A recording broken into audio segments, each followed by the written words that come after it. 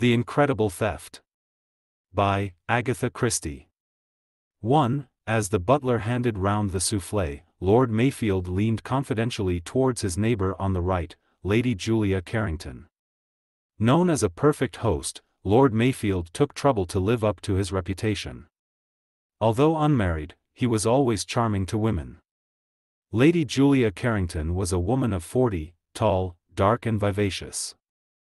She was very thin, but still beautiful. Her hands and feet in particular were exquisite.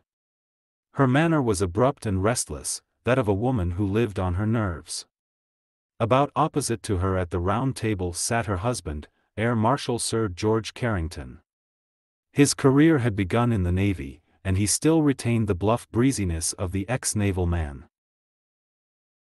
He was laughing and chaffing the beautiful Mrs. Vanderlyn, who was sitting on the other side of her host. Mrs. Vanderlyn was an extremely good-looking blonde. Her voice held a soupçon of American accent, just enough to be pleasant without undue exaggeration. On the other side of Sir George Carrington sat Mrs. Macatta, MP Mrs. Macatta was a great authority on housing and infant welfare. She barked out short sentences rather than spoke them, and was generally of somewhat alarming aspect. It was perhaps natural that the air marshal would find his right-hand neighbor the pleasanter to talk to. Mrs. Macatta, who always talked shop wherever she was, barked out short spates of information on her special subjects to her left-hand neighbor, young Reggie Carrington. Reggie Carrington was 21, and completely uninterested in housing, infant welfare, and indeed any political subject. He said at intervals, how frightful, and I absolutely agree with you, and his mind was clearly elsewhere. Mr. Carlyle, Lord Mayfield's private secretary, sat between young Reggie and his mother. A pale young man with pince nez and an air of intelligent reserve, he talked little, but was always ready to fling himself into any conversational breach. Noticing that Reggie Carrington was struggling with a yawn, he leaned forward and adroitly asked Mrs. Macatta a question about her fitness for children scheme. Round the table, moving silently in the subdued amber light, a butler and two footmen offered dishes and filled up wine glasses. Lord Mayfield paid a very high salary to his chef, and was noted as a connoisseur of wines. The table was a round one, but there was no mistaking who was the host. Where Lord Mayfield sat was so very decidedly the head of the table. A big man, square-shouldered, with thick silvery hair, a big straight nose and a slightly prominent chin. It was a face that lent itself easily to caricature. As Sir Charles McLaughlin, Lord Mayfield had combined a political career with being the head of a big engineering firm. He was himself a first-class engineer. His peerage had come a year ago, and at the same time he had been created First Minister of Armaments, a new ministry which had only just come into being. The dessert had been placed on the table. The port had circulated once. Catching Mrs. Vanderlyn's eye, Lady Julia rose. The three women left the room. The port passed once more, and Lord Mayfield referred lightly to pheasants. The conversation for five minutes or so was sporting. Then Sir George said, Expect you'd like to join the others in the drawing room, Reggie, my boy. Lord Mayfield won't mind. The boy took the hint easily enough. Thanks, Lord Mayfield, I think I will. Mr. Carlyle murmured, if you'll excuse me, Lord Mayfield, certain memoranda and other work to get through. Lord Mayfield nodded. The two young men left the room. The servants had retired some time before. The Minister for Armaments and the head of the Air Force were alone. After a minute or two, Carrington said, Well, okay? Absolutely. There's nothing to touch this new bomber in any country in Europe. Make rings round M, eh? That's what I thought. Supremacy of the air, said Lord Mayfield decisively. Sir George Carrington gave a deep sigh. About time. You know, Charles, we've been through a ticklish spell. Lots of gunpowder everywhere all over Europe. And we weren't ready, damn it. We've had a narrow squeak. And we're not out of the wood yet, however much we hurry on construction. Lord Mayfield murmured, Nevertheless, George, there are some advantages in starting late. A lot of the European stuff is out of date already, and they're perilously near bankruptcy. I don't believe that means anything, said Sir George gloomily. One's always hearing this nation and that is bankrupt. But they carry on just the same. You know, finance is an absolute mystery to me. Lord Mayfield's eyes twinkled a little. Sir George Carrington was always so very much the old-fashioned, bluff, honest old sea dog. There were people who said that it was a pose he deliberately adopted. Changing the subject, Carrington said in a slightly over-casual manner, attractive woman, Mrs. Vanderlyn, eh? Lord Mayfield said, are you wondering what she's doing here? His eyes were amused. Carrington looked a little confused. Not at all, not at all. Oh, yes, you were. Don't be an old humbug, George. You were wondering, in a slightly dismayed fashion, whether I was the latest victim. Carrington said slowly, I'll admit that it did seem a trifle odd to me that she should be here, well, this particular weekend. Lord Mayfield nodded. Where the carcass is, there are the vultures gathered together. We've got a very definite carcass, and Mrs. Vanderlyn might be described as vulture number one. The air marshal said abruptly, Know anything about this Vanderlyn woman? Lord Mayfield clipped off the end of a cigar, lit it with precision and, throwing his head back, dropped out his words with careful deliberation. What do I know about Mrs. Vanderlyn? I know that she's an American subject. I know that she's had three husbands, one Italian, one German and one Russian, and that in consequence she has made useful what I think are called contacts in three countries. I know that she manages to buy very expensive clothes and live in a very luxurious manner, and that there is some slight uncertainty as to where the income comes from which permits her to do so. With a grin, Sir George Carrington murmured, Your spies have not been inactive, Charles, I see. I know, Lord Mayfield continued, that in addition to having a seductive type of beauty, Mrs. Vanderlyn is also a very good listener, and that she can display a fascinating interest in what we call shop. That is to say, a man can tell her all about his job and feel that he is being intensely interesting to the lady. Sundry young officers have gone a little too far in their zeal to be interesting, and their careers have suffered in consequence. They have told Mrs. Vanderlyn a little more than they should have done. Nearly all the lady's friends are in the services, but last winter she was hunting in a certain county near one of our largest armament firms, and she formed various friendships not at all sporting in character. To put it briefly, Mrs. Vanderlyn is a very useful person to. He described a circle in the air with his cigar. Perhaps we had better not say to whom. We will just say to a European power and perhaps to more than one European power. Carrington drew a deep breath. You take a great load off my mind, Charles. You thought I had fallen for the siren? My dear George. Mrs. Vanderlyn is just a little too obvious in her methods for a wary old bird like me. Besides, she is, as they say, not quite so young as she once was. Your young squadron leaders wouldn't notice that. But I am 56, my boy. In another four years I shall probably be a nasty old man continually haunting the society of unwilling debutantes. I was a fool, said Carrington apologetically, but it seemed a bit odd, it seemed to you odd that she should be here, in a somewhat intimate family party just at the moment when you and I were to hold an unofficial conference over a discovery that will probably revolutionize the whole problem of air defense? Sir George Carrington nodded. Lord Mayfield said, smiling, that's exactly it. That's the bait. The bait? You see, George, to use the language of the movies, we've nothing actually on the woman. And we want something. She's got away with rather more than she should in the past. But she's been careful, damnably careful. We know what she's been up to, but we've got no definite proof of it. We've got to tempt her with something big.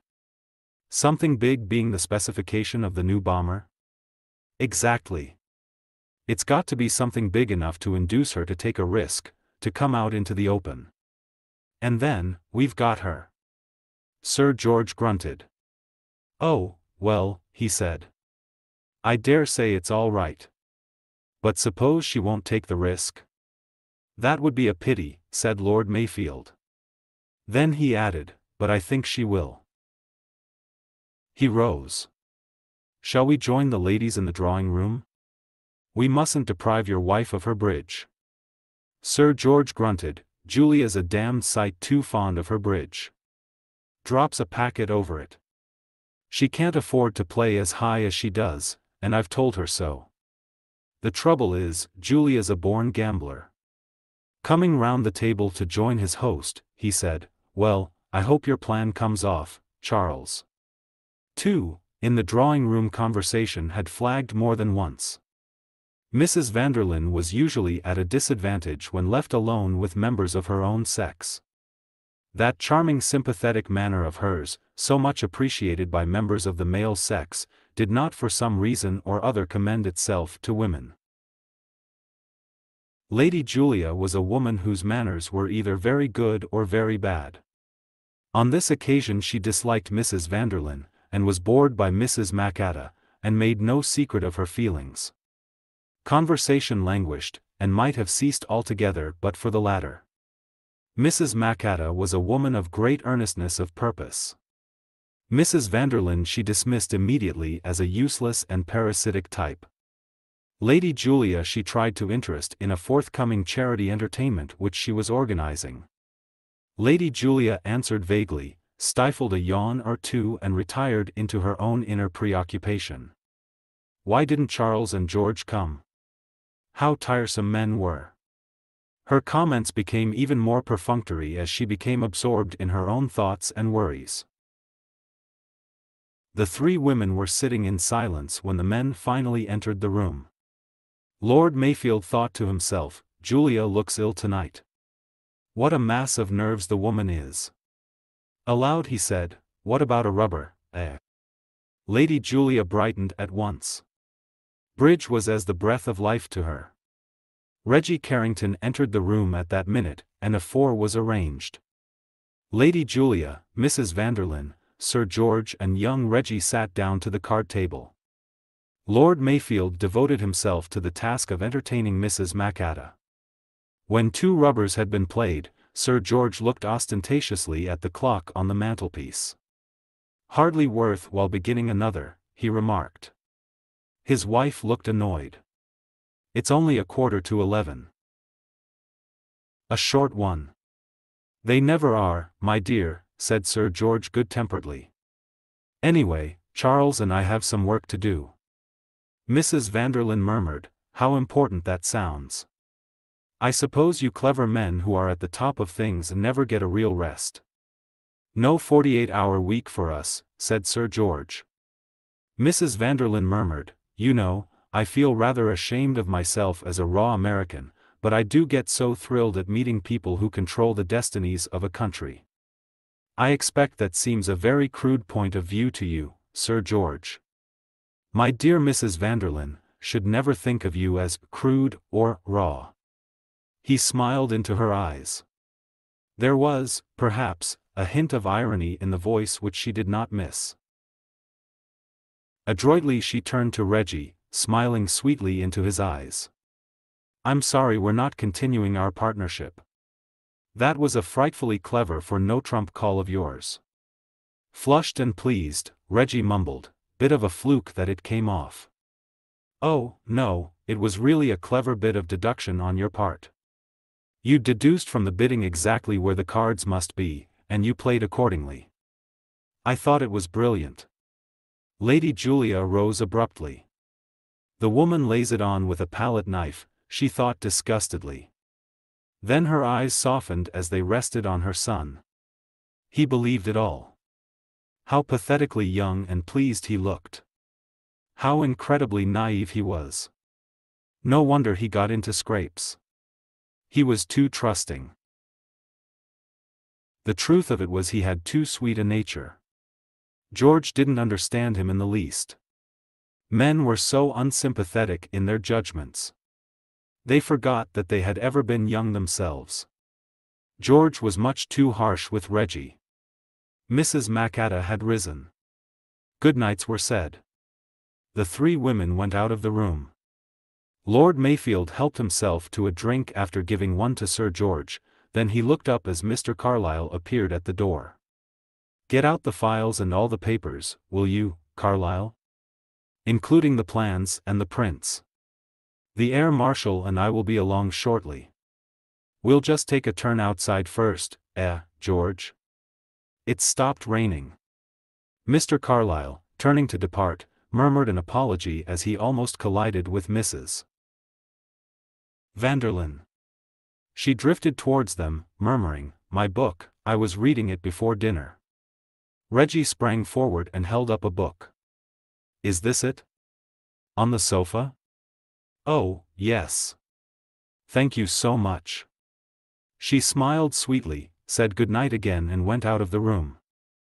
Sir George had opened one of the French windows. Beautiful night now, he announced. Good idea of yours to take a turn. Reggie said, Well, good night, sir. I'll be toddling off to bed.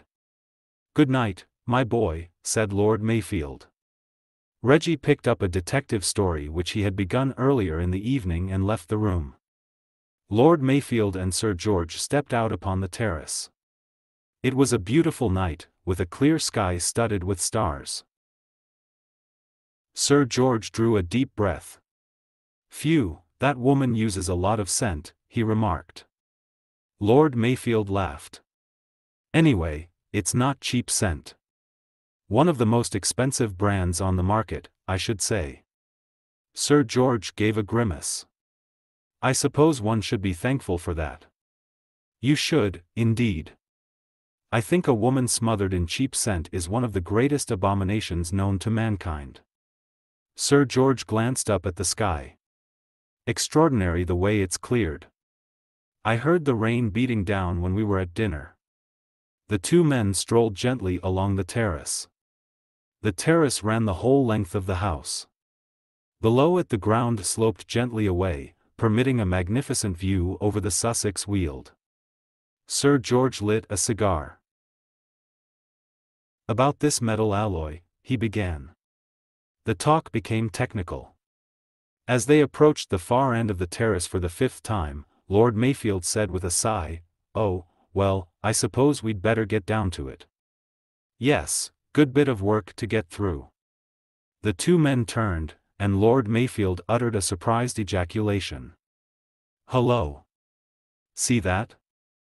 See what? asked Sir George. Thought I saw someone slip across the terrace from my study window. Nonsense, old boy. I didn't see anything.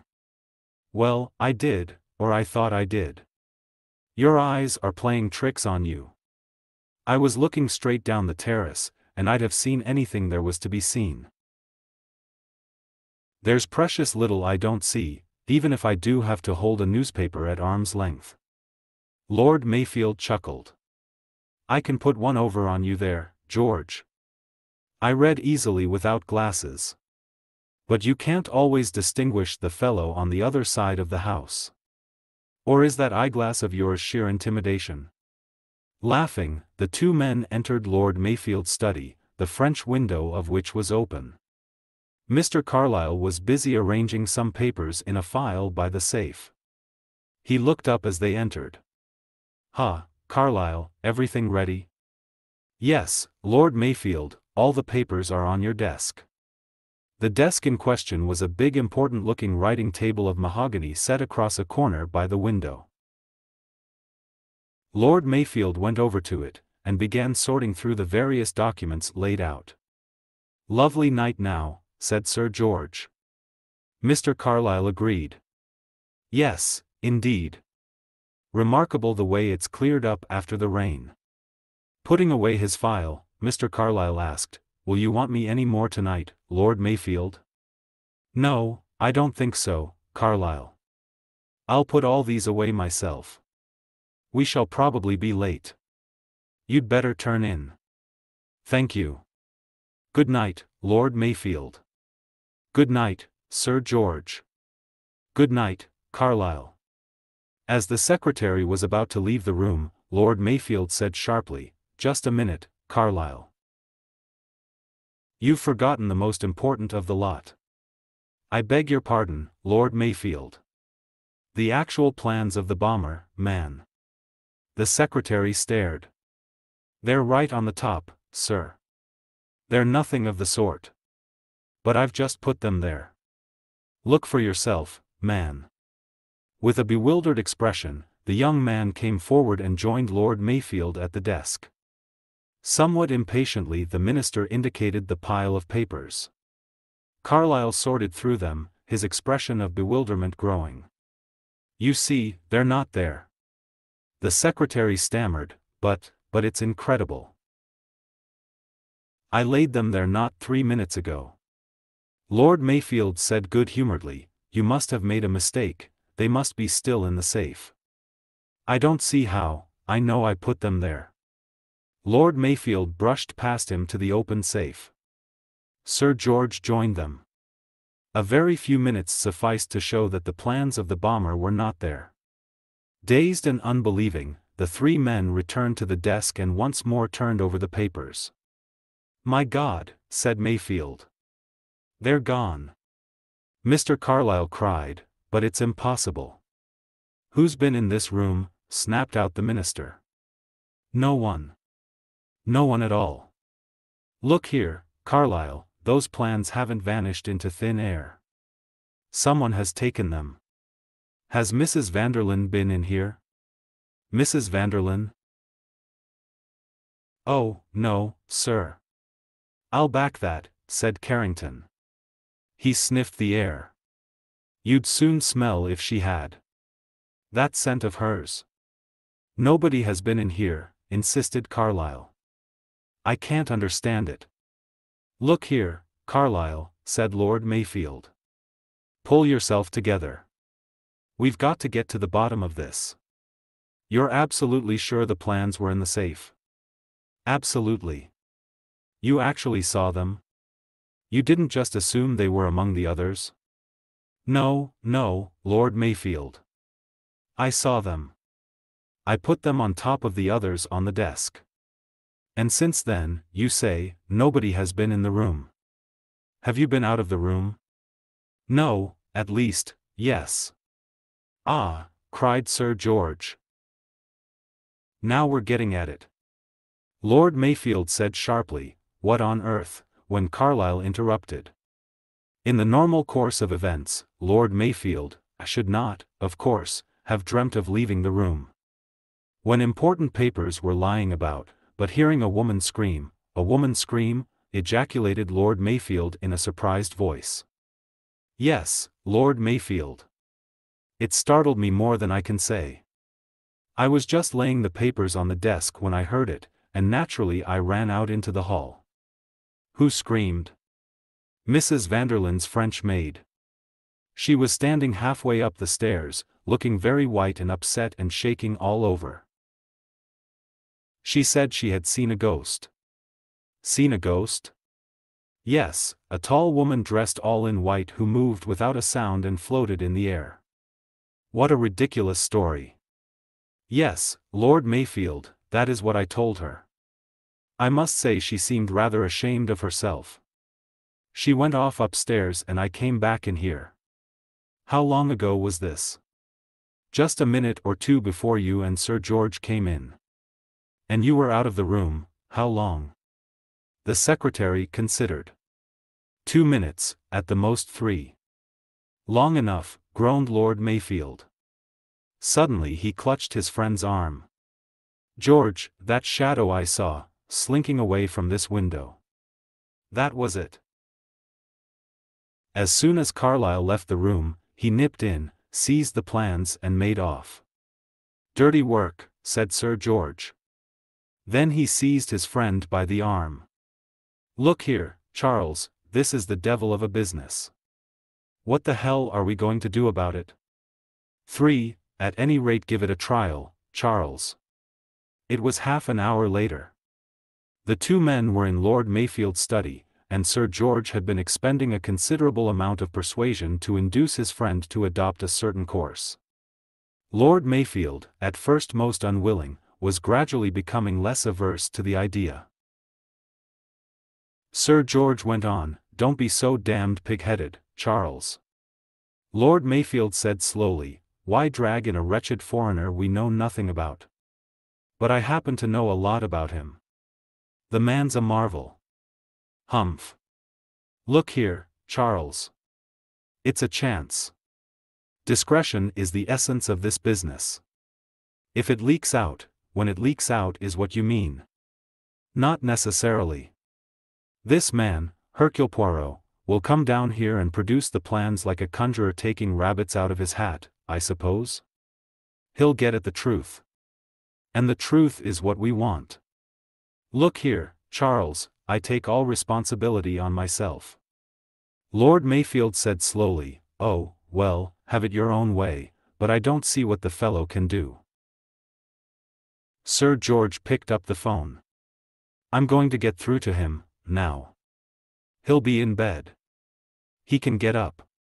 Dash it all, Charles, you can't let that woman get away with it. Mrs. Vanderlyn, you mean? Yes. You don't doubt, do you, that she's at the bottom of this? No, I don't. She's turned the tables on me with a vengeance. I don't like admitting, George, that a woman's been too clever for us. It goes against the grain. But it's true. We shan't be able to prove anything against her, and yet we both know that she's been the prime mover in the affair. Women are the devil, said Carrington with feeling. Nothing to connect her with it, damn it all. We may believe that she put the girl up to that screaming trick, and that the man lurking outside was her accomplice, but the devil of it is we can't prove it. Perhaps Hercule Poirot can. Suddenly Lord Mayfield laughed. By the Lord, George, I thought you were too much of an old John Bull to put your trust in a Frenchman, however clever. He's not even a Frenchman, he's a Belgian, said Sir George in a rather shamefaced manner. Well, have your Belgian down. Let him try his wits on this business. I'll bet he can't make more of it than we can. Without replying, Sir George stretched a hand to the telephone. For, blinking a little, Hercule Poirot turned his head from one man to the other. Very delicately he smothered a yawn. It was half past two in the morning. He had been roused from sleep and rushed down through the darkness in a big Rolls Royce. Now he had just finished hearing what the two men had to tell him. Those are the facts, Mr. Poirot, said Lord Mayfield. He leaned back in his chair, and slowly fixed his monocle in one eye. Through it a shrewd, pale blue eye watched Poirot attentively. Besides being shrewd the eye was definitely skeptical. Poirot cast a swift glance at Sir George Carrington. That gentleman was leaning forward with an expression of almost childlike hopefulness on his face. Poirot said slowly, I have the facts, yes.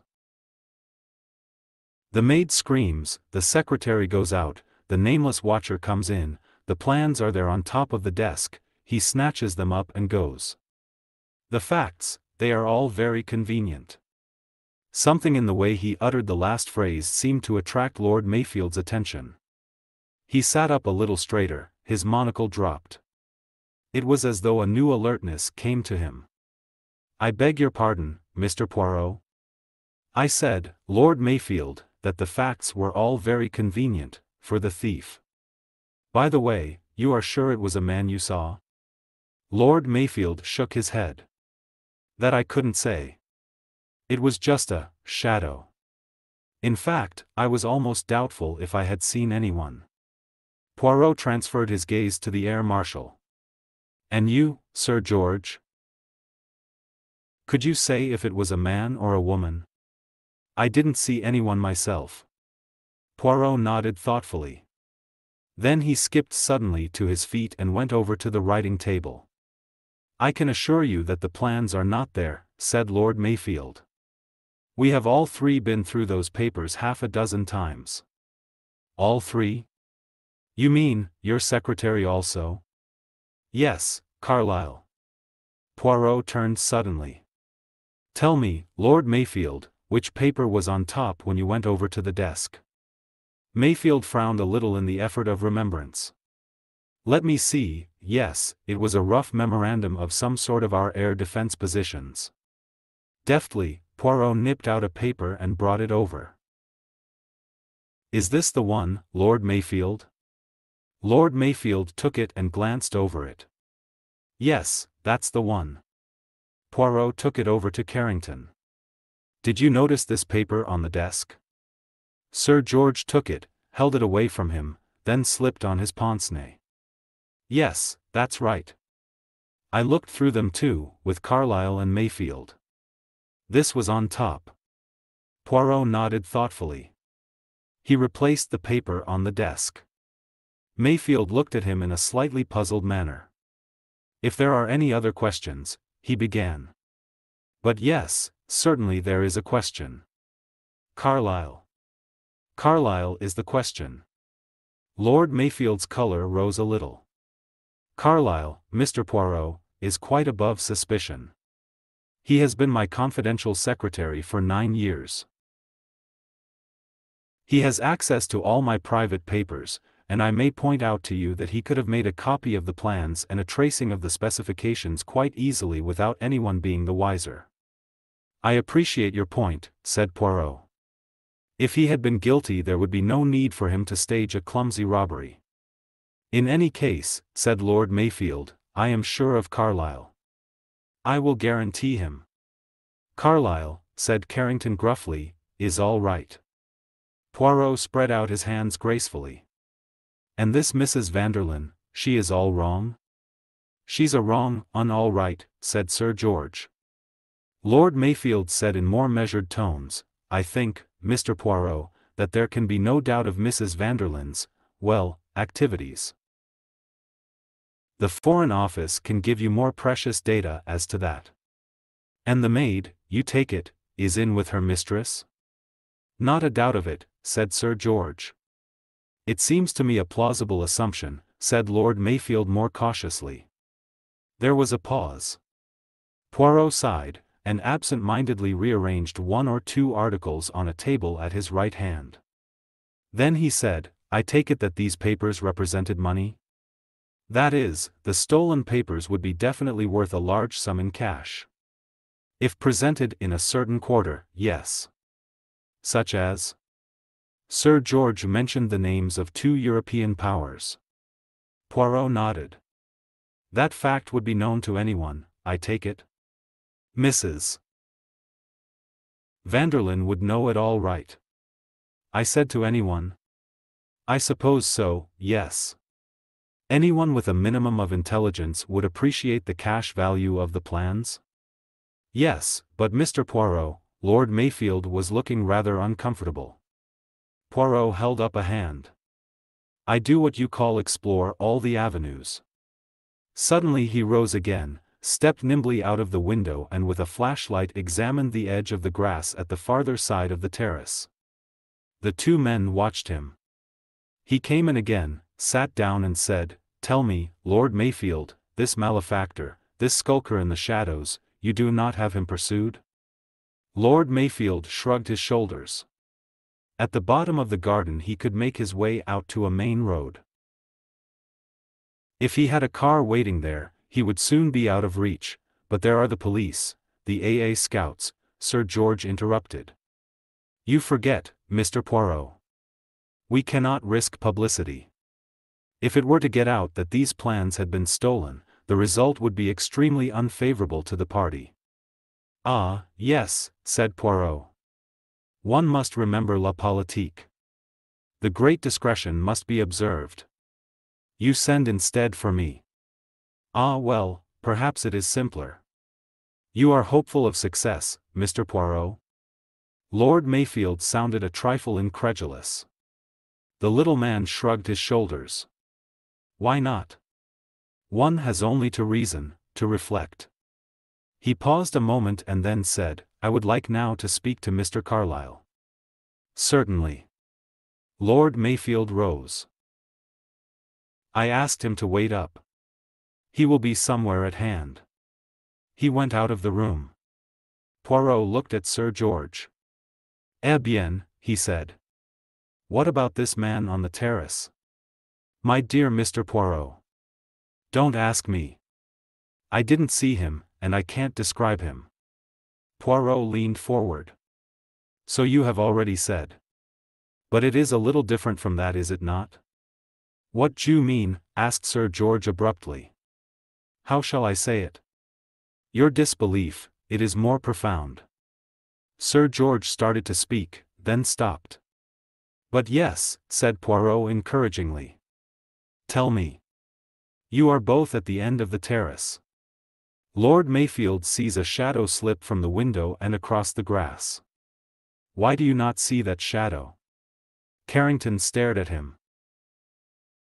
You've hit it, Mr. Poirot. I've been worrying about that ever since. You see, I'd swear that no one did leave this window. I thought Mayfield had imagined it, branch of a tree waving, something of that kind. And then when we came in here and found there had been a robbery, it seemed as though Mayfield must have been right and I'd been wrong. And yet, Poirot smiled. And yet you still in your heart of hearts believe in the evidence, the negative evidence, of your own eyes? You're right, Mr. Poirot, I do. Poirot gave a sudden smile. How wise you are. Sir George said sharply, there were no footprints on the grass edge? Poirot nodded. Exactly. Lord Mayfield, he fancies he sees a shadow. Then there comes the robbery and he is sure, but sure. It is no longer a fancy, he actually saw the man. But that is not so. Me, I do not concern myself much with footprints and such things but for what it is worth we have that negative evidence. There were no footprints on the grass. It had rained heavily this evening. If a man had crossed the terrace to the grass this evening his footprints would have shown. Sir George said, staring, but then, but then, it brings us back to the house. To the people in the house. He broke off as the door opened and Lord Mayfield entered with Mr. Carlyle. Though still looking very pale and worried, the secretary had regained a certain composure of manner. Adjusting his pince-nez he sat down and looked at Poirot inquiringly. How long had you been in this room when you heard the scream, monsieur? Carlyle considered. Between five and ten minutes, I should say. And before that there had been no disturbance of any kind? No. I understand that the house party had been in one room for the greater part of the evening. Yes, the drawing room. Poirot consulted his notebook. Sir George Carrington and his wife. Mrs. Macatta. Mrs. Vanderlyn. Mr. Reggie Carrington. Lord Mayfield and yourself. Is that right? I myself was not in the drawing room. I was working here the greater part of the evening. Poirot turned to Lord Mayfield. Who went up to bed first? Lady Julia Carrington, I think. As a matter of fact, the three ladies went out together. And then? Mr. Carlyle came in and I told him to get out the papers as Sir George and I would be along in a minute. It was then that you decided to take a turn on the terrace? It was. Was anything said in Mrs. Vanderlyn's hearing as to your working in the study? The matter was mentioned, yes. But she was not in the room when you instructed Mr. Carlyle to get out the papers? No. Excuse me, Lord Mayfield, said Carlyle. Just after you had said that, I collided with her in the doorway. She had come back for a book. So you think she might have overheard?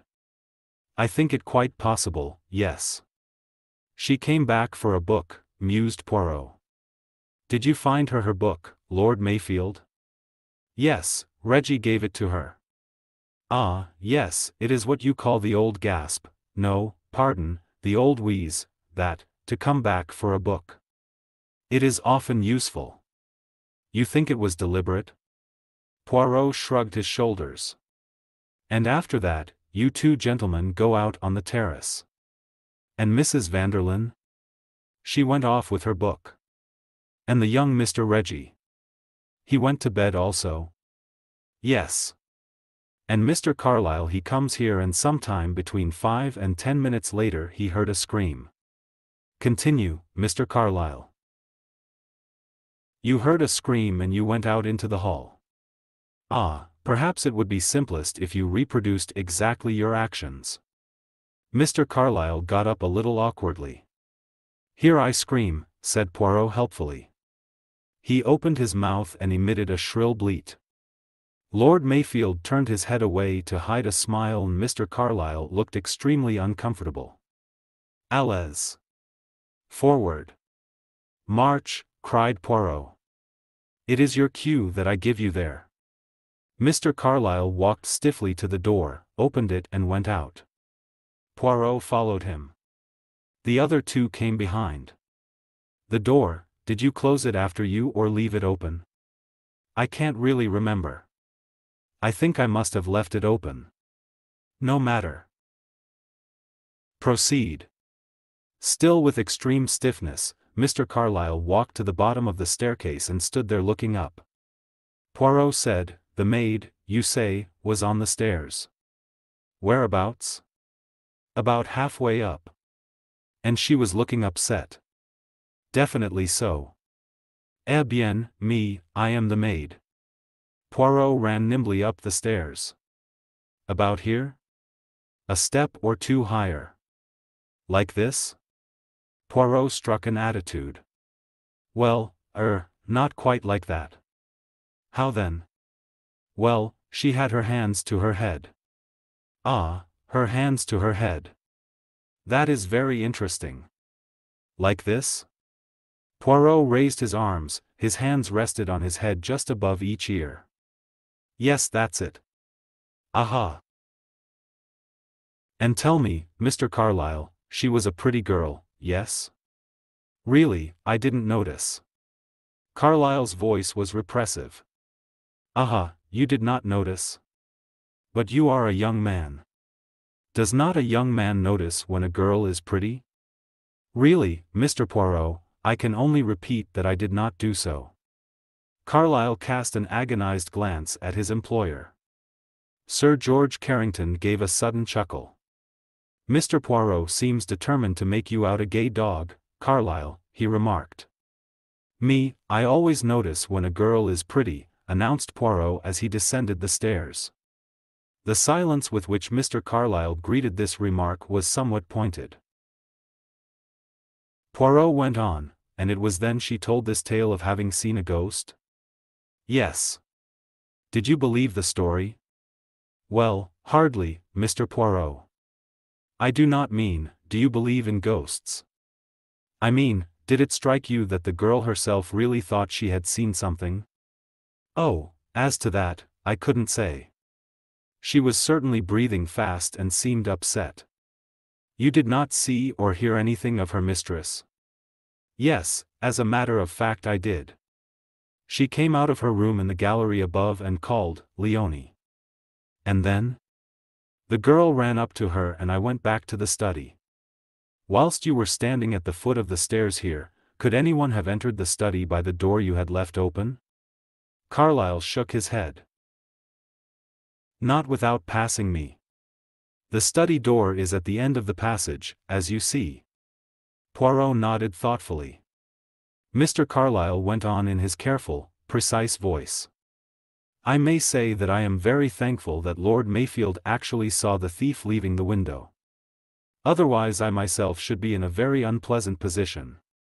Nonsense, my dear Carlyle, broke in Lord Mayfield impatiently. No suspicion could possibly attach to you.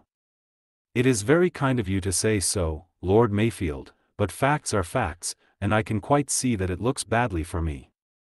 In any case I hope that my belongings and myself may be searched.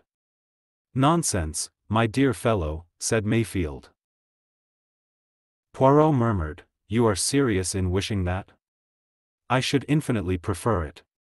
Poirot looked at him thoughtfully for a minute or two and murmured, I see. Then he asked, Where is Mrs. Vanderlyn's room situated in regard to the study? It is directly over it. With a window looking out over the terrace? Yes. Again Poirot nodded. Then he said, Let us go to the drawing room. Here he wandered round the room, examined the fastenings of the windows, glanced at the scorers on the bridge table and then finally addressed Lord Mayfield. This affair, he said, is more complicated than it appears. But one thing is quite certain. The stolen plans have not left this house. Lord Mayfield stared at him. But, my dear Mr. Poirot, the man I saw leaving the study, there was no man. But I saw him, with the greatest respect, Lord Mayfield, you imagined you saw him. The shadow cast by the branch of a tree deceived you. The fact that a robbery occurred naturally seemed a proof that what you had imagined was true. Really, Mr. Poirot, the evidence of my own eyes, back my eyes against yours any day, old boy, put in Sir George. You must permit me, Lord Mayfield, to be very definite on that point. No one crossed the terrace to the grass. Looking very pale and speaking stiffly, Mr. Carlyle said, In that case, if Mr. Poirot is correct, suspicion automatically attaches itself to me. I am the only person who could possibly have committed the robbery. Lord Mayfield sprang up. Nonsense. Whatever Mr. Poirot thinks about it, I don't agree with him. I am convinced of your innocence, my dear Carlyle. In fact, I'm willing to guarantee it. Poirot murmured mildly, but I have not said that I suspect Mr. Carlyle. Carlyle answered, No, but you've made it perfectly clear that no one else had a chance to commit the robbery.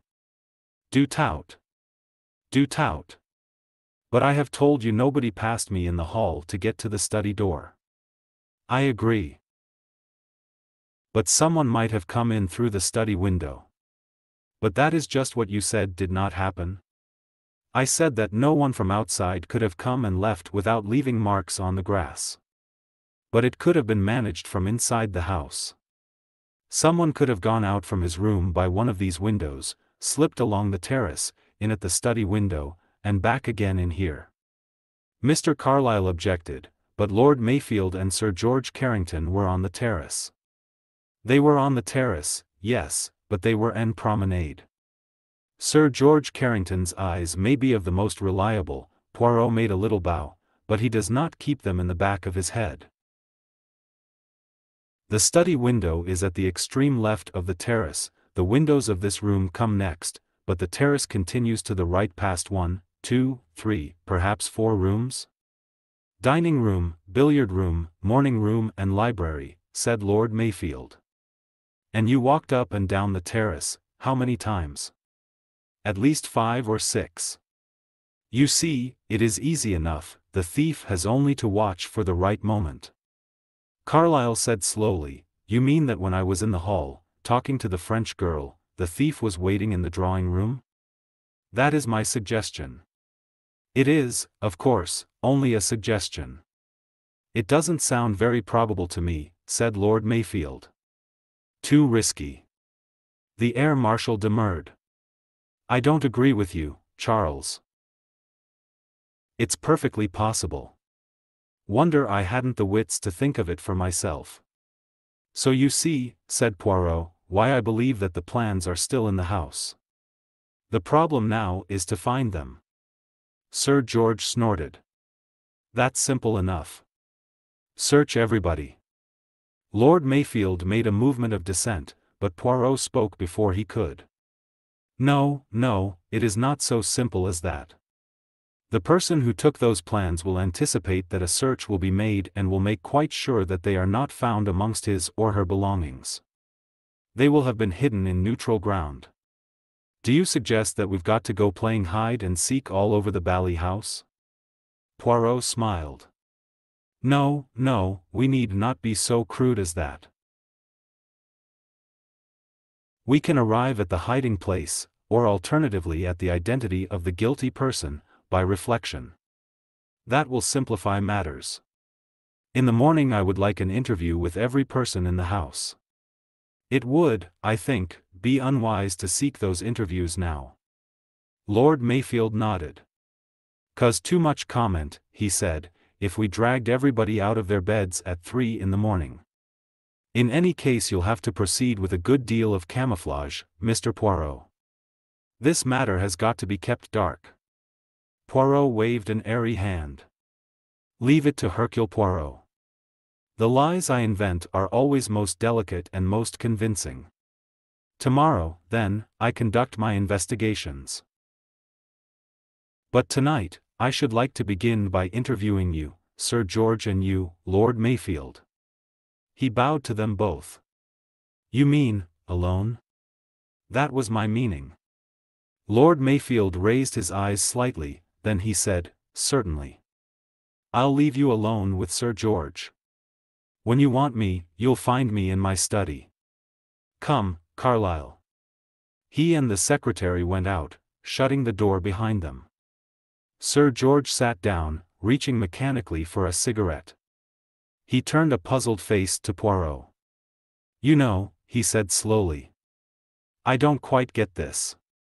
That is very simply explained, said Poirot with a smile. In two words, to be accurate. Mrs. Vanderlyn. Oh, said Carrington. I think I see. Mrs. Vanderlyn? Precisely. It might be, you see, that it would not be very delicate to ask Lord Mayfield the question I want to ask. Why Mrs. Vanderlyn? This lady, she is known to be a suspicious character. Why, then, should she be here? I say to myself there are three explanations. One, that Lord Mayfield has a penchant for the lady, and that is why I seek to talk to you alone. I do not wish to embarrass him. 2. That Mrs. Vanderlyn is perhaps the dear friend of someone else in the house? You can count me out, said Sir George with a grin. Then, if neither of those cases is true, the question returns in redoubled force. Why Mrs. Vanderlyn? And it seems to me I perceive a shadowy answer. There was a reason. Her presence at this particular juncture was definitely desired by Lord Mayfield for a special reason. Am I right? Sir George nodded. You're quite right, he said. Mayfield is too old a bird to fall for her wiles. He wanted her here for quite another reason. It was like this. He retailed the conversation that had taken place at the dinner table. Poirot listened attentively. Ah, he said. I comprehend now. Nevertheless, it seems that the lady has turned the tables on you both rather neatly. Sir George swore freely. Poirot watched him with some slight amusement, then he said, You do not doubt that this theft is her doing, I mean, that she is responsible for it, whether or no she played an active part? Sir George stared. Of course not. There isn't any doubt of that. Why, who else would have any interest in stealing those plans? Ah, said Hercule Poirot. He leaned back and looked at the ceiling. And yet, Sir George, we agreed, not a quarter of an hour ago, that these papers represented very definitely money. Not perhaps, in quite so obvious a form as banknotes, or gold, or jewelry, but nevertheless they were potential money. If there were anyone here who was hard up, the other interrupted him with a snort. Who isn't these days? I suppose I can say it without incriminating myself. He smiled and Poirot smiled politely back at him and murmured, Mais oui, you can say what you like, for you, Sir George, have the one unimpeachable alibi in this affair. But I'm damned hard up myself. Poirot shook his head sadly. Yes, indeed, a man in your position has heavy living expenses. Then you have a young son at a most expensive age, Sir George groaned. Education's bad enough, then debts on top of it. Mind you, this lad's not a bad lad. Poirot listened sympathetically. He heard a lot of the air marshal's accumulated grievances. The lack of grit and stamina in the younger generation, the fantastic way in which mothers spoilt their children and always took their side, the curse of gambling once it got hold of a woman, the folly of playing for higher stakes than you could afford. It was couched in general terms, Sir George did not allude directly to either his wife or his son, but his natural transparency made his generalizations very easy to see through. He broke off suddenly. Sorry, mustn't take up your time with something that's right off the subject, especially at this hour of the night, or rather, morning. He stifled a yawn. I suggest, Sir George, that you should go to bed. You have been most kind and helpful. Right, think I will turn in. You really think there is a chance of getting the plans back? Poirot shrugged his shoulders. I mean to try. I do not see why not. Well, I'll be off. Good night. He left the room. Poirot remained in his chair staring thoughtfully at the ceiling, then he took out a little notebook and turning to a clean page, he wrote, Mrs. Vanderlyn? Lady Julia Carrington? Mrs. Macatta? Reggie Carrington? Mr. Carlyle? Underneath he wrote, Mrs. Vanderlyn and Mr. Reggie Carrington? Mrs. Vanderlyn and Lady Julia? Mrs. Vanderlyn and Mr. Carlyle? He shook his head in a dissatisfied manner, murmuring, say plus simple KCA. Then he added a few short sentences. Did Lord Mayfield see a shadow? If not, why did he say he did? Did Sir George see anything? He was positive he had seen nothing after I examined Flower Bed. Note, Lord Mayfield is nearsighted, can read without glasses but has to use a monocle to look across a room. Sir George is long-sighted. Therefore, from the far end of the terrace, his sight is more to be depended upon than Lord Mayfield's. Yet Lord Mayfield is very positive that he did see something and is quite unshaken by his friend's denial. Can anyone be quite as above suspicion as Mr. Carlyle appears to be? Lord Mayfield is very emphatic as to his innocence. Too much so. Why? Because he secretly suspects him and is ashamed of his suspicions? Or because he definitely suspects some other person? That is to say, some person other than Mrs. Vanderlyn? He put the notebook away. Then, getting up, he went along to the study. 5. Lord Mayfield was seated at his desk when Poirot entered the study. He swung round, laid down his pen, and looked up inquiringly. Well, Mr. Poirot, had your interview with Carrington? Poirot smiled and sat down. Yes, Lord Mayfield. He cleared up a point that had puzzled me. What was that? The reason for Mrs. Vanderlyn's presence here. You comprehend, I thought it possible, Mayfield was quick to realize the cause of Poirot's somewhat exaggerated embarrassment. You thought I had a weakness for the lady? Not at all. Far from it. Funnily enough, Carrington thought the same. Yes, he has told me of the conversation he held with you on the subject. Lord Mayfield looked rather rueful. My little scheme didn't come off. Always annoying to have to admit that a woman has got the better of you. Ah, but she has not got the better of you yet, Lord Mayfield. You think we may yet win? Well, I'm glad to hear you say so. I'd like to think it was true. He sighed. I feel I've acted like a complete fool, so pleased with my stratagem for entrapping the lady. Hercule Poirot said, as he lit one of his tiny cigarettes, What was your stratagem exactly, Lord Mayfield? Well, Lord Mayfield hesitated. I hadn't exactly got down to details. You didn't discuss it with anyone? No. Not even with Mr. Carlyle? No. Poirot smiled. You prefer to play a lone hand, Lord Mayfield. I have usually found it the best way, said the other a little grimly.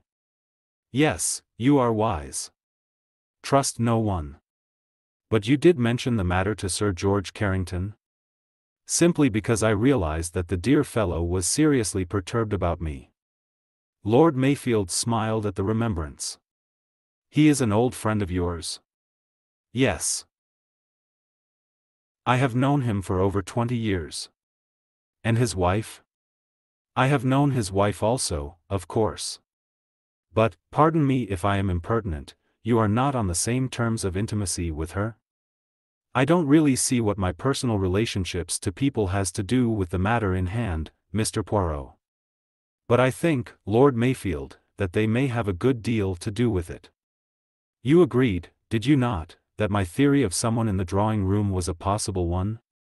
Yes. In fact, I agree with you that that is what must have happened. We will not say must.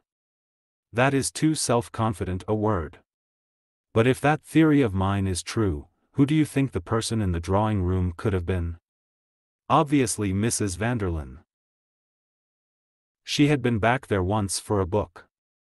She could have come back for another book, or a handbag, or a dropped handkerchief, one of a dozen feminine excuses. She arranges with her maid to scream and get Carlyle away from the study. Then she slips in and out by the windows as you said. You forget it could not have been Mrs. Vanderlyn. Carlyle heard her call the maid from upstairs while he was talking to the girl. Lord Mayfield bit his lip. True. I forgot that. He looked thoroughly annoyed. You see, said Poirot gently. We progress. We have first the simple explanation of a thief who comes from outside and makes off with the booty. A very convenient theory as I said at the time, too convenient to be readily accepted. We have disposed of that.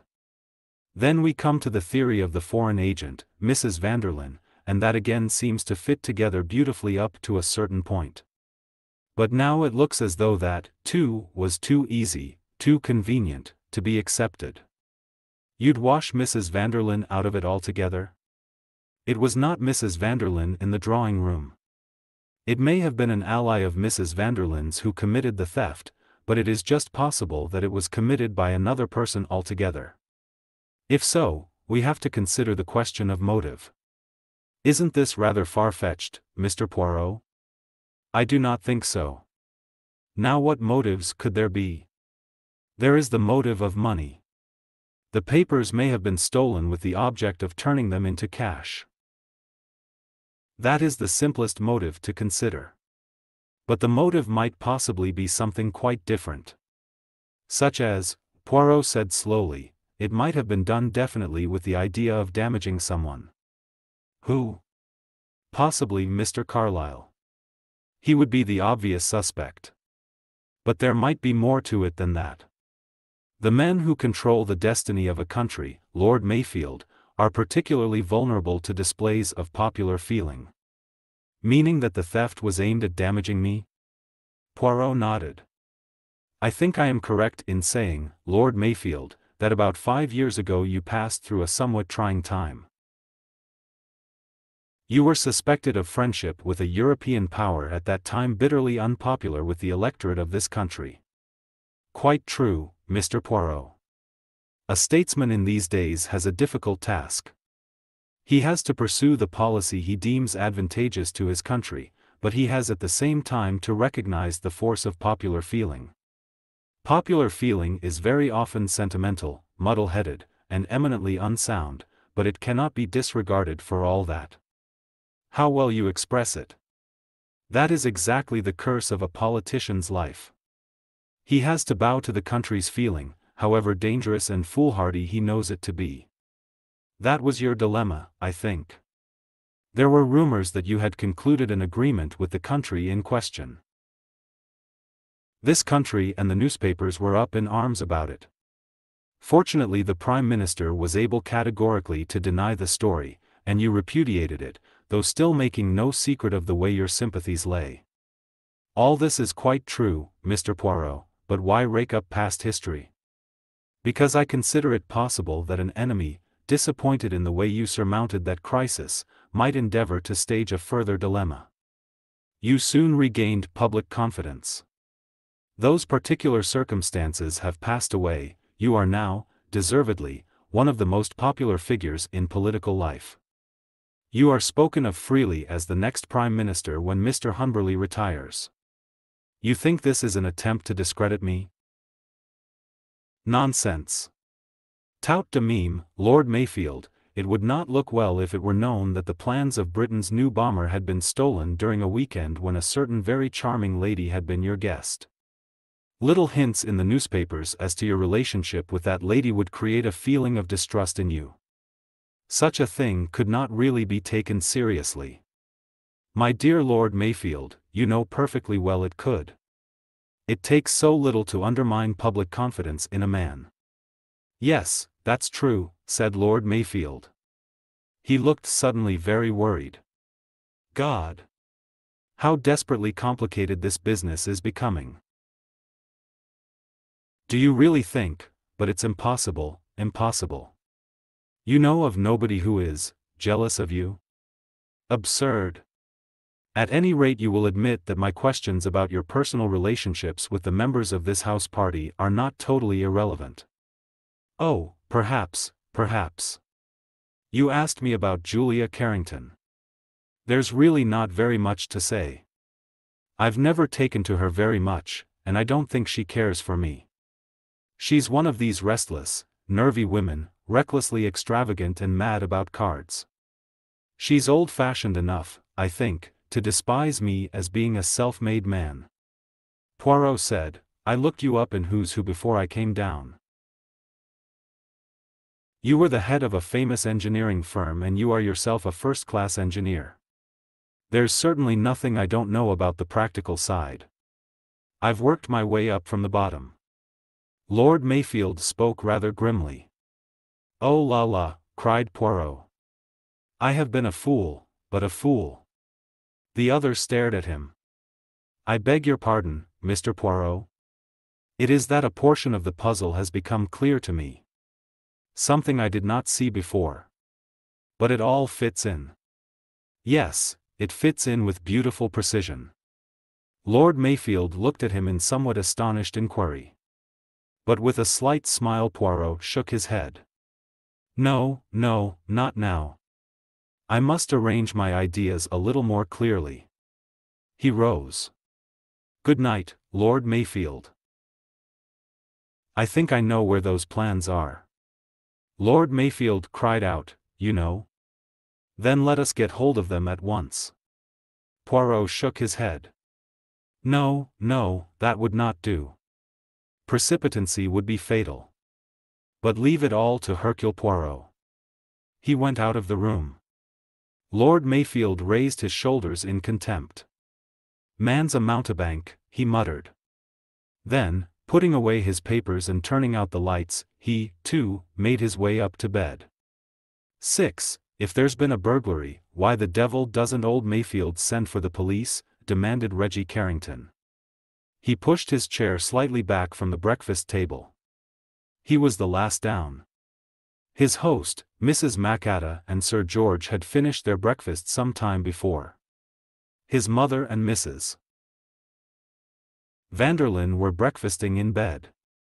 Sir George, repeating his statement on the lines agreed upon between Lord Mayfield and Hercule Poirot, had a feeling that he was not managing it as well as he might have done. To send for a queer foreigner like this seems very odd to me, said Reggie. What has been taken, father? I don't know exactly, my boy. Reggie got up. He looked rather nervy and on edge this morning. Nothing, important? No, papers or anything like that. To tell you the truth, Reggie, I can't tell you exactly. Very hush hush, is it? I see. Reggie ran up the stairs, paused for a moment halfway with a frown on his face, and then continued his ascent and tapped on his mother's door. Her voice bade him enter.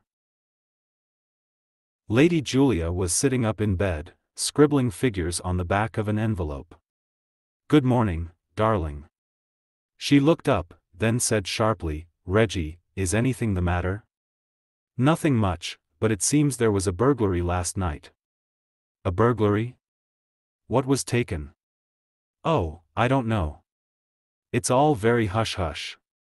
There's some odd kind of private inquiry agent downstairs asking everybody questions. How extraordinary. It's rather unpleasant, said Reggie slowly, staying in a house when that kind of thing happens. What did happen exactly? Don't know. It was some time after we all went to bed. Look out, mother, you'll have that tray off. He rescued the breakfast tray and carried it to a table by the window. Was money taken? I tell you I don't know. Lady Julia said slowly, I suppose this inquiry man is asking everybody questions? I suppose so. Where they were last night? All that kind of thing? Probably. Well, I can't tell him much. I went straight up to bed and was asleep in next to no time. Lady Julia did not answer. I say, mother, I suppose you couldn't let me have a spot of cash. I'm absolutely broke. No, I couldn't, his mother replied decisively. I've got the most frightful overdraft myself. I don't know what your father will say when he hears about it. There was a tap at the door and Sir George entered. Ah, there you are, Reggie. Will you go down to the library? Mr. Hercule Poirot wants to see you. Poirot had just concluded an interview with the redoubtable Mrs. Macatta. A few brief questions had elicited the information that Mrs. Macatta had gone up to bed just before eleven, and had heard or seen nothing helpful. Poirot slid gently from the topic of the burglary to more personal matters. He himself had a great admiration for Lord Mayfield. As a member of the general public he felt that Lord Mayfield was a truly great man. Of course, Mrs. Macatta, being in the know, would have a far better means of estimating that than himself. Lord Mayfield has brains, allowed Mrs. Macatta. And he has carved his career out entirely for himself. He owes nothing to hereditary influence. He has a certain lack of vision, perhaps. In that I find all men sadly alike. They lack the breadth of a woman's imagination. Woman, Mr. Poirot, is going to be the great force in government in ten years' time. Poirot said that he was sure of it. He slid to the topic of Mrs. Vanderlyn. Was it true, as he had heard hinted, that she and Lord Mayfield were very close friends? Not in the least. To tell you the truth I was very surprised to meet her here. Very surprised indeed. Poirot invited Mrs. Macatta's opinion of Mrs. Vanderlyn, and got it. One of those absolutely useless women, Mr. Poirot. Women that make one despair of one's own sex. A parasite, first and last a parasite. Men admired her? Men. Mrs. Macatta spoke the word with contempt. Men are always taken in by those very obvious good looks.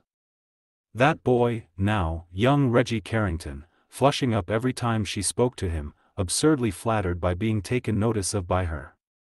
And the silly way she flattered him too. Praising his bridge, which actually was far from brilliant. He is not a good player. He made all sorts of mistakes last night. Lady Julia is a good player, is she not?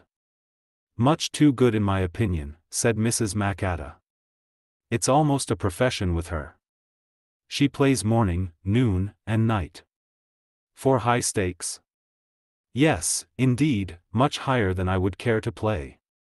Indeed, I shouldn't consider it right. She makes a good deal of money at the game. Mrs. Macatta gave a loud and virtuous snort. She reckons on paying her debts that way. But she's been having a run of bad luck lately, so I've heard. She looked last night as though she had something on her mind. The evils of gambling, Mr. Poirot, are only slightly less than the evils caused by drink. If I had my way this country should be purified, Poirot was forced to listen to a somewhat lengthy discussion on the purification of England's morals. Then he closed the conversation adroitly and sent for Reggie Carrington.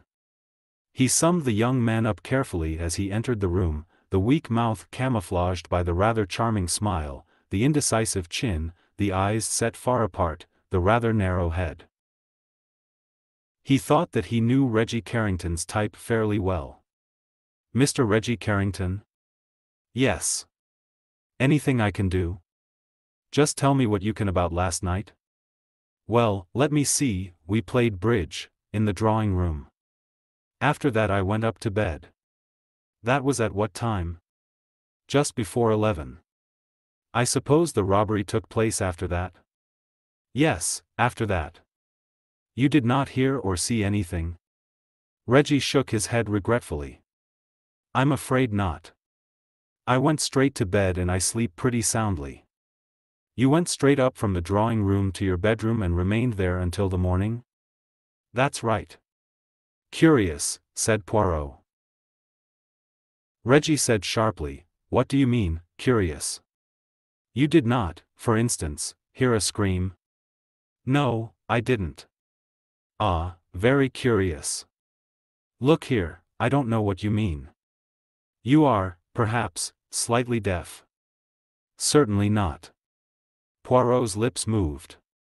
It was possible that he was repeating the word curious for the third time. Then he said, Well, thank you, Mr. Carrington, that is all. Reggie got up and stood rather irresolutely. You know, he said, now you come to mention it, I believe I did hear something of the kind. Ah, you did hear something? Yes, but you see, I was reading a book, a detective story as a matter of fact, and I, well, I didn't really quite take it in. Ah, said Poirot, a most satisfying explanation. His face was quite impassive. Reggie still hesitated, then he turned and walked slowly to the door. There he paused and asked, I say, what was stolen? Something of great value, Mr. Carrington. That is all I am at liberty to say. Oh, said Reggie rather blankly. He went out. Poirot nodded his head. It fits, he murmured. It fits very nicely. He touched a bell and inquired courteously if Mrs. Vanderlyn was up yet. 7. Mrs. Vanderlyn swept into the room looking very handsome. She was wearing an artfully cut russet sports suit that showed up the warm lights of her hair. She swept to a chair and smiled in a dazzling fashion at the little man in front of her. For a moment something showed through the smile. It might have been triumph, it might almost have been mockery. It was gone almost immediately, but it had been there. Poirot found the suggestion of it interesting. Burglars? Last night? But how dreadful. Why no, I never heard a thing. What about the police? Can't they do anything? Again, just for a moment, the mockery showed in her eyes. Hercule Poirot thought, it is very clear that you are not afraid of the police, my lady. You know very well that they are not going to be called in. And from that followed, what? He said soberly, You comprehend, madam, it is an affair of the most discreet. Why, naturally, Mr. Poirot, isn't it? I shouldn't dream of breathing a word. I'm much too great an admirer of dear Lord Mayfield's to do anything to cause him the least little bit of worry. She crossed her knees. A highly polished slipper of brown leather dangled on the tip of her silk-shod foot. She smiled, a warm, compelling smile of perfect health and deep satisfaction. Do tell me if there's anything at all I can do. I thank you, madam. You played bridge in the drawing room last night? Yes. I understand that then all the ladies went up to bed? That is right. But someone came back to fetch a book. That was you, was it not, Mrs. Vanderlyn? I was the first one to come back, yes. What do you mean, the first one, said Poirot sharply. I came back right away, explained Mrs. Vanderlyn. Then I went up and rang for my maid. She was a long time in coming. I rang again. Then I went out on the landing. I heard her voice and I called her. After she had brushed my hair I sent her away, she was in a nervous, upset state and tangled the brush in my hair once or twice. It was then, just as I sent her away, that I saw Lady Julia coming up the stairs. She told me she had been down again for a book, too. Curious, wasn't it? Mrs. Vanderlyn smiled as she finished, a wide, rather feline smile. Hercule Poirot thought to himself that Mrs. Vanderlyn did not like Lady Julia Carrington. As you say, madam. Tell me, did you hear your maid scream? Why, yes, I did hear something of that kind. Did you ask her about it? Yes. She told me she thought she had seen a floating figure in white, such nonsense. What was Lady Julia wearing last night? Oh, you think perhaps, yes, I see. She was wearing a white evening dress. Of course, that explains it. She must have caught sight of her in the darkness just as a white figure. These girls are so superstitious. Your maid has been with you a long time, madam. Oh, no. Mrs. Vanderlyn opened her eyes rather wide. Only about five months. I should like to see her presently, if you do not mind, madam. Mrs. Vanderlyn raised her eyebrows. Oh, certainly, she said rather coldly. I should like, you understand, to question her. Oh, yes. Again a flicker of amusement. Poirot rose and bowed. Madam, he said. You have my complete admiration. Mrs. Vanderlyn for once seemed a trifle taken aback. Oh, Mr. Poirot, how nice of you, but why? You are, madam, so perfectly armored, so completely sure of yourself. Mrs. Vanderlyn laughed a little uncertainly. Now I wonder, she said, if I am to take that as a compliment. Poirot said, It is, perhaps, a warning, not to treat life with arrogance. Mrs. Vanderlyn laughed with more assurance. She got up and held out a hand. Dear Mr. Poirot, I do wish you all success. Thank you for all the charming things you have said to me. She went out. Poirot murmured to himself, You wish me success, do you? Ah, but you are very sure I am not going to meet with success. Yes, you are very sure indeed. That, it annoys me very much. With a certain petulance, he pulled the bell and asked that Mademoiselle Leonie might be sent to him. His eyes roamed over her appreciatively as she stood hestiating in the doorway, demure in her black dress with her neatly parted black waves of hair and her modestly dropped eyelids. He nodded slow approval. Come in, Mademoiselle Leonie, he said. Do not be afraid. She came in and stood demurely before him. Do you know, said Poirot with a sudden change of tone, that I find you very good to look at. Leonie responded promptly. She flashed him a glance out of the corner of her eyes and murmured softly, Monsieur is very kind. Figure to yourself, said Poirot. I demand of Mr. Carlyle whether you are or not good looking and he replies that he does not know. Leonie cocked her chin up contemptuously. That image. That describes him very well. I do not believe he has ever looked at a girl in his life, that one. Probably not. A pity. He has missed a lot. But there are others in this house who are more appreciative, is it not so? Really, I do not know what monsieur means. Oh, yes, Mademoiselle Leonie, you know very well. A pretty history that you recount last night about a ghost that you have seen. As soon as I hear that you are standing there with your hands to your head, I know very well that there is no question of ghosts. If a girl is frightened, she clasps her heart, or she raises her hands to her mouth to stifle a cry, but if her hands are on her hair, it means something very different. It means that her hair has been ruffled and that she is hastily getting it into shape again. Now then, mademoiselle, let us have the truth. Why did you scream on the stairs? But monsieur, it is true, I saw a tall figure all in white, mademoiselle, do not insult my intelligence. That story, it may have been good enough for Mr. Carlyle, but it is not good enough for Hercule Poirot. The truth is that you had just been kissed, is it not so? And I will make a guess that it was Mr. Reggie Carrington who kissed you. Leonie twinkled an unabashed eye at him. Eh bien, she demanded, after all, what is a kiss? What, indeed, said Poirot gallantly. You see, the young gentleman he came up behind me and caught me round the waist, and so naturally he startled me and I screamed. If I had known, well, then naturally I would not have screamed. Naturally, agreed Poirot. But he came upon me like a cat.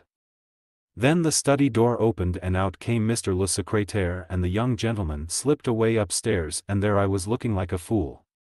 Naturally I had to say something, especially to, she broke into French, un jeune homme comme ca, tellement comme il faut. So you invent a ghost? Indeed, monsieur, it was all I could think of. A tall figure all in white, that floated. It is ridiculous but what else could I do? Nothing. So now, all is explained. I had my suspicions from the first. Leonie shot him a provocative glance. Monsieur is very clever, and very sympathetic. And since I am not going to make you any embarrassments over the affair, you will do something for me in return? Most willingly, monsieur. How much do you know of your mistress's affairs? The girl shrugged her shoulders. Not very much, monsieur. I have my ideas, of course. And those ideas? Well, it does not escape me that the friends of Madame are always soldiers or sailors or airmen. And then there are other friends, foreign gentlemen who come to see her very quietly sometimes. Madame is very handsome, though I do not think she will be so much longer. The young men, they find her very attractive. Sometimes I think, they say too much. But it is only my idea, that. Madame does not confide in me. What you would have me to understand is that Madame plays a lone hand? That is right, monsieur. In other words, you cannot help me. I fear not, monsieur. I would do if I could. Tell me, your mistress is in a good mood today? Decidedly, monsieur. Something has happened to please her? She has been in good spirits ever since she came here. Well, Leonie, you should know. The girl answered confidently, Yes, monsieur. I could not be mistaken there. I know all Madame's moods. She is in high spirits. Positively triumphant? That is exactly the word, monsieur. Poirot nodded gloomily. I find that, a little hard to bear. Yet I perceive that it is inevitable. Thank you, mademoiselle, that is all. Leonie threw him a coquettish glance. Thank you, monsieur. If I meet monsieur on the stairs, be well assured that I shall not scream. My child, said Poirot with dignity. I am of advanced years. What have I to do with such frivolities? But with a little twitter of laughter, Leonie took herself off. Poirot paced slowly up and down the room. His face became grave and anxious. And now, he said at last, for Lady Julia. What will she say, I wonder? Lady Julia came into the room with a quiet air of assurance. She bent her head graciously, accepted the chair that Poirot drew forward and spoke in a low, well-bred voice. Lord Mayfield says that you wish to ask me some questions. Yes, madam. It is about last night. About last night, yes? What happened after you had finished your game of bridge? My husband thought it was too late to begin another. I went up to bed. And then? I went to sleep. That is all?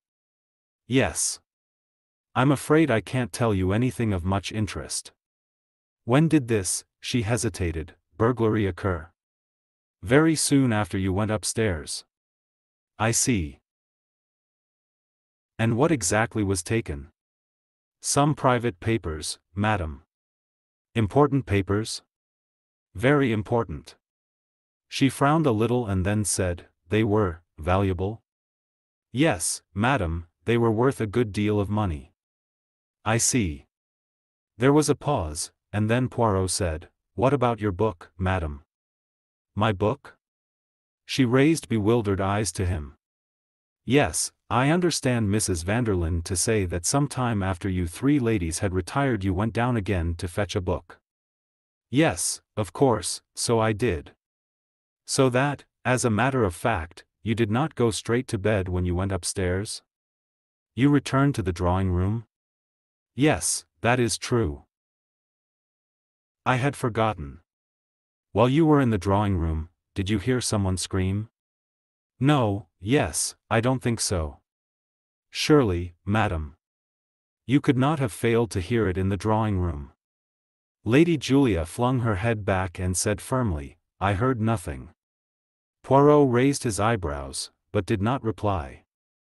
The silence grew uncomfortable. Lady Julia asked abruptly, What is being done? Being done? I do not understand you, madam. I mean about the robbery. Surely the police must be doing something. Poirot shook his head. The police have not been called in. I am in charge. She stared at him, her restless haggard face sharpened and tense. Her eyes, dark and searching, sought to pierce his impassivity. They fell at last, defeated. You cannot tell me what is being done. I can only assure you, madam, that I am leaving no stone unturned. To catch the thief, or to recover the papers. The recovery of the papers is the main thing, madam. Her manner changed. It became bored, listless. Yes, she said indifferently. I suppose it is. There was another pause. Is there anything else, Mr. Poirot? No, madam. I will not detain you further. Thank you. He opened the door for her. She passed out without glancing at him. Poirot went back to the fireplace and carefully rearranged the ornaments on the mantelpiece. He was still at it when Lord Mayfield came in through the window. Well, said the latter. Very well, I think. Events are shaping themselves as they should. Lord Mayfield said, staring at him, You are pleased. No, I am not pleased. But I am content. Really, Mr. Poirot, I cannot make you out. I am not such a charlatan as you think. I never said, no, but you thought. No matter. I am not offended. It is sometimes necessary for me to adopt a certain pose. Lord Mayfield looked at him doubtfully with a certain amount of distrust. Hercule Poirot was a man he did not understand. He wanted to despise him, but something warned him that this ridiculous little man was not so futile as he appeared. Charles McLaughlin had always been able to recognize capability when he saw it. Well, he said, we are in your hands. What do you advise next? Can you get rid of your guests? I think it might be arranged. I could explain that I have to go to London over this affair. They will then probably offer to leave. Very good. Try and arrange it like that. Lord Mayfield hesitated. You don't think? I am quite sure that that would be the wise course to take. Lord Mayfield shrugged his shoulders. Well, if you say so. He went out. 8. The guests left after lunch. Mrs. Vanderlyn and Mrs. Macatta went by train, the Carringtons had their car. Poirot was standing in the hall as Mrs. Vanderlyn bade her host a charming farewell. So terribly sorry for you having this bother and anxiety. I do hope it will turn out all right for you. I shan't breathe a word of anything. She pressed his hand and went out to where the Rolls was waiting to take her to the station. Mrs. Macatta was already inside. Her adieu had been curt and unsympathetic. Suddenly Leonie, who had been getting in front with the chauffeur, came running back into the hall. The dressing case of Madame, it is not in the car, she exclaimed. There was a hurried search. At last Lord Mayfield discovered it where it had been put down in the shadow of an old oak chest. Leonie uttered a glad little cry as she seized the elegant affair of green morocco, and hurried out with it. Then Mrs. Vanderlyn leaned out of the car. Lord Mayfield, Lord Mayfield. She handed him a letter. Would you mind putting this in your post bag? If I keep it meaning to post it in town, I'm sure to forget. Letters just stay in my bag for days. Sir George Carrington was fidgeting with his watch, opening and shutting it. He was a maniac for punctuality. They're cutting it fine, he murmured. Very fine. Unless they're careful, they'll miss the train, his wife said irritably, oh, don't fuss, George. After all, it's their train, not ours. He looked at her reproachfully. The Rolls drove off. Reggie drew up at the front door in the Carringtons' Morris. All ready, father, he said. The servants began bringing out the Carringtons' luggage. Reggie supervised its disposal in the dicky. Poirot moved out of the front door, watching the proceedings. Suddenly he felt a hand on his arm. Lady Julia's voice spoke in an agitated whisper. Mr. Poirot. I must speak to you, at once. He yielded to her insistent hand. She drew him into a small morning room and closed the door. She came close to him. Is it true what you said, that the discovery of the papers is what matters most to Lord Mayfield? Poirot looked at her curiously. It is quite true, madam. If, if those papers were returned to you, would you undertake that they should be given back to Lord Mayfield, and no question asked? I am not sure that I understand you. You must. I am sure that you do. I am suggesting that the, the thief should remain anonymous if the papers are returned. Poirot asked, How soon would that be, madam? Definitely within 12 hours. You can promise that? I can promise it. As he did not answer, she repeated urgently, Will you guarantee that there will be no publicity? He answered then, very gravely, Yes, madam, I will guarantee that. Then everything can be arranged. She passed abruptly from the room. A moment later Poirot heard the car drive away. He crossed the hall and went along the passage to the study. Lord Mayfield was there. He looked up as Poirot entered. Well, he said. Poirot spread out his hands. The case is ended, Lord Mayfield. What? Poirot repeated word for word the scene between himself and Lady Julia. Lord Mayfield looked at him with a stupefied expression. But what does it mean? I don't understand. It is very clear, is it not? Lady Julia knows who stole the plans. You don't mean she took them herself? Certainly not. Lady Julia may be a gambler. She is not a thief. But if she offers to return the plans, it means that they were taken by her husband or her son. Now Sir George Carrington was out on the terrace with you. That leaves us the son. I think I can reconstruct the happenings of last night fairly accurately. Lady Julia went to her son's room last night and found it empty. She came downstairs to look for him, but did not find him. This morning she hears of the theft, and she also hears that her son declares that he went straight to his room and never left it. That, she knows, is not true. And she knows something else about her son. She knows that he is weak, that he is desperately hard up for money. She has observed his infatuation for Mrs. Vanderlyn. The whole thing is clear to her. Mrs. Vanderlyn has persuaded Reggie to steal the plans. But she determines to play her part also. She will tackle Reggie, get hold of the papers and return them. But the whole thing is quite impossible, cried Lord Mayfield. Yes, it is impossible, but Lady Julia does not know that. She does not know what I, Hercule Poirot, know, that young Reggie Carrington was not stealing papers last night, but instead was philandering with Mrs. Vanderlyn's French maid. The whole thing is a mare's nest. Exactly. And the case is not ended at all. Yes, it is ended. I, Hercule Poirot, know the truth. You do not believe me? You did not believe me yesterday when I said I knew where the plans were. But I did know. They were very close at hand. Where? They were in your pocket, my lord. There was a pause, then Lord Mayfield said, Do you really know what you are saying, Mr. Poirot? Yes, I know. I know that I am speaking to a very clever man.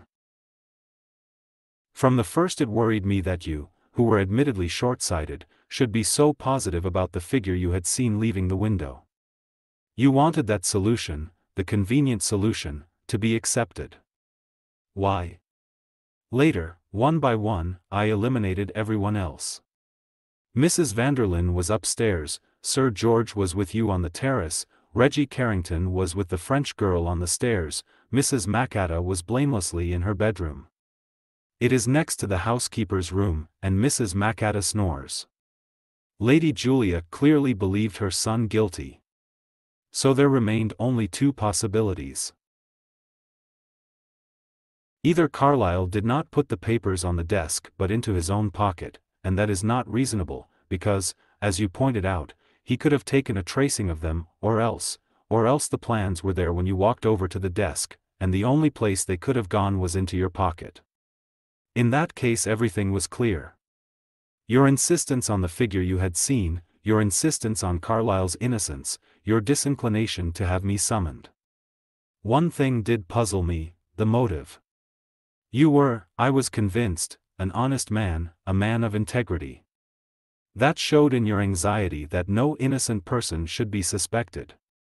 It was also obvious that the theft of the plans might easily affect your career unfavorably.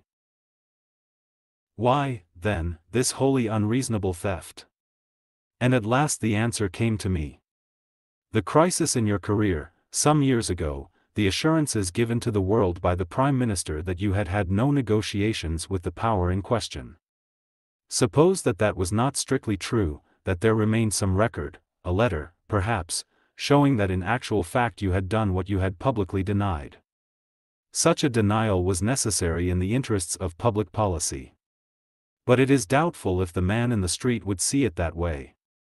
It might mean that at the moment when supreme power might be given into your hands, some stupid echo from the past would undo everything. I suspect that that letter has been preserved in the hands of a certain government, that that government offered to trade with you, the letter in exchange for the plans of the new bomber. Some men would have refused. You did not. You agreed. Mrs. Vanderlyn was the agent in the matter. She came here by arrangement to make the exchange. You gave yourself away when you admitted that you had formed no definite stratagem for entrapping her.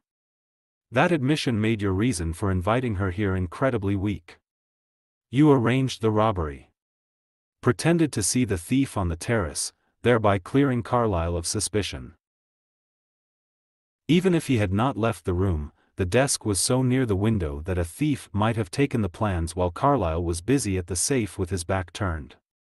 You walked over to the desk, took the plans and kept them on your own person until the moment when, by prearranged plan, you slipped them into Mrs. Vanderlyn's dressing case. In return she handed you the fatal letter disguised as an unposted letter of her own. Poirot stopped. Lord Mayfield said, Your knowledge is very complete, Mr. Poirot. You must think me an unutterable skunk. Poirot made a quick gesture. No, no, Lord Mayfield.